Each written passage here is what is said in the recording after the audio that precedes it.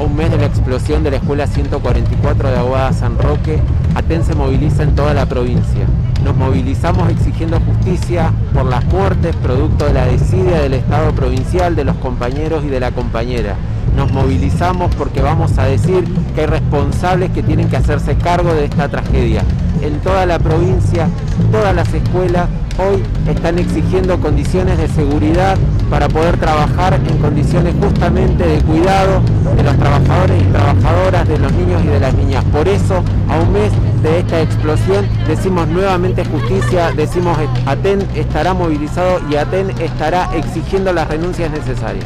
Son numerosas las escuelas que en toda la provincia no han podido comenzar,